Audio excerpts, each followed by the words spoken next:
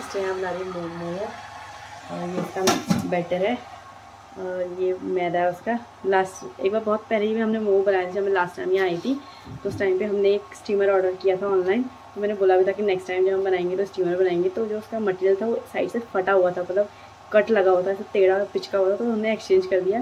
तो मम्मी ने बोला, मैं मार्केट से लेके आऊँगी ऑनलाइन मत मंगाओ।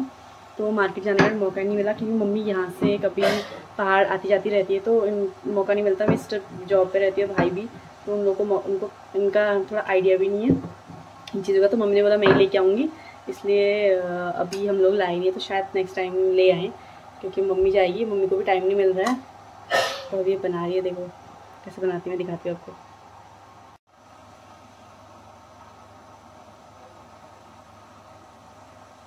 क्या आपने कहाँ सीखा?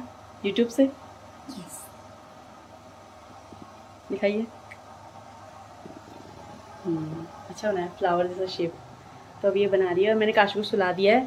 तो आज मैं वापस अपने ससुराल जा रही हूँ। तो चार बजे हम लोग निकलेंगे।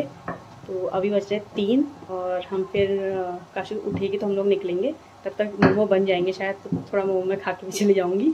तो वैसे वीडियो बन रही है मेरे साथ। और ये मोमो हो चुके हैं स्टीम और बाकी अभी बन रहे हैं, वहाँ रखे हुए हैं। तो ये अभी स्टीम हो चुके हैं, ये मम्मी को दूँगी और ये है रेड चटनी।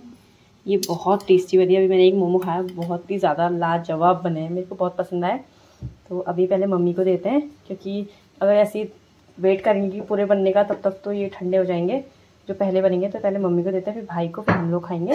तो अभी छः मोमो मैं जा रही हूँ मम्मी को देने तो देखते हैं मम्मी को पसंद आएँगी कि नहीं। तो मम्मी अभी खा रही है। मम्मी खा के दवा कैसा बना है? गर्म हो रहे आराम से खाना? गर्म हो रहे कैसे हो रहे अच्छे हो रहे खाओ फिर। और और खाओगे तो बताना। तो काश यहाँ सोई है अभी।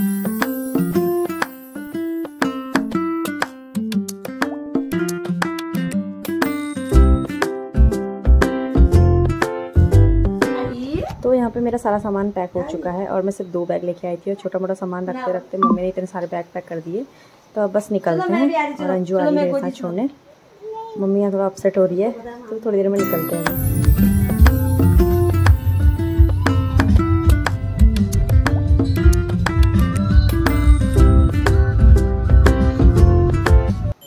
तो पाँच बजे घर पहुँच चुकी थी और यहाँ मम्मी लोग की भी पूजा वूजा चल रही है तब तक मैं सब्ज़ी काट लेती हूँ। हम आज बना रहे हैं लौकी और आलू की सब्ज़ी। तो आज का ब्लॉग यहीं एंड करते हैं। मेरे ऐसे ब्लॉग को देखते रहिए। Thank you so much keep watching